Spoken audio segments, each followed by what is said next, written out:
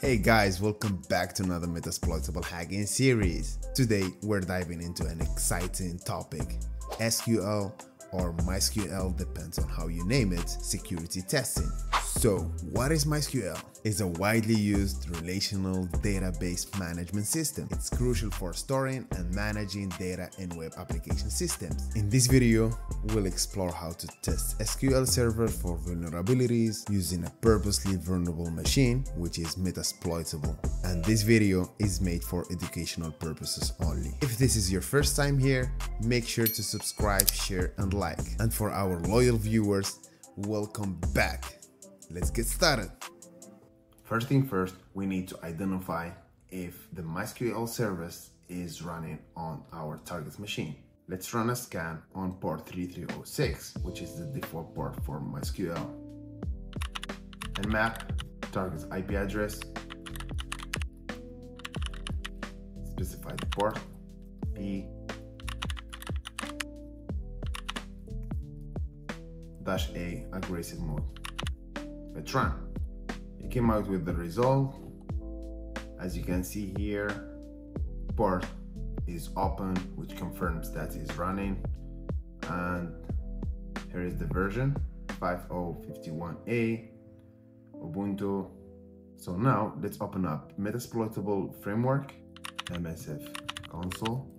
Our next step is to search for MySQL related exploits. Let's search MySQL so as you can see, it came out with a bunch of different exploits, but for this demo, let's use this scanner. It scans for versions, use 19, as usual, show options. Let's set the R host, IP of the target machine, and run. As you can see, this is the version that just Nmap gave us. Next, let's search for a model that allows us to attempt a login. Search MySQL, the model that we are interested in, underscore login. Whoa, it came out with a model. Let's use it.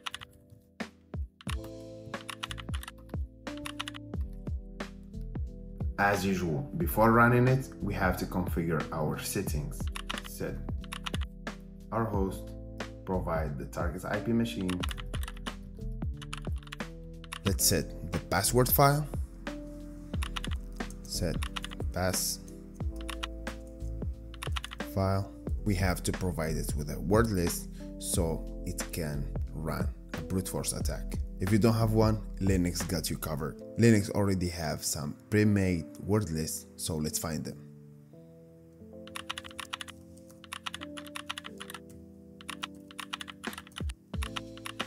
As you can see, it has a bunch of different word lists, so go there and grab the one you like. And it has more and more.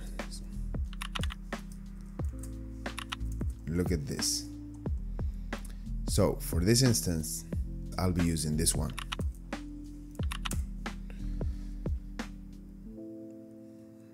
Show options again. And we're all set up. Let's hit run.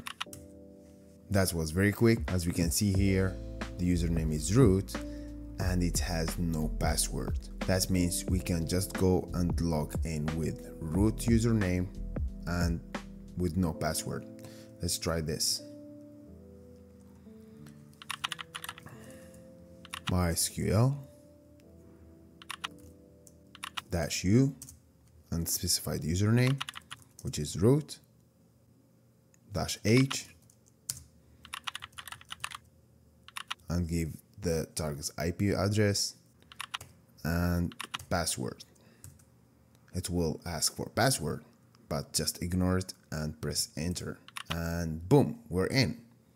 Let's confirm that we're in. Show databases. Let's try to mess up with that stuff. Use DBWA. Nice. let's dump tables, show tables. Great. And there you have it. We successfully accessed the MySQL server, demonstrating how to identify and exploit the vulnerability. This is a crucial step in understanding the importance of securing your databases. If you found this video helpful, please share, subscribe, and like for more. If you have any suggestion for future videos, please leave them in the comment below. And don't forget to check out our playlist for more tutorials.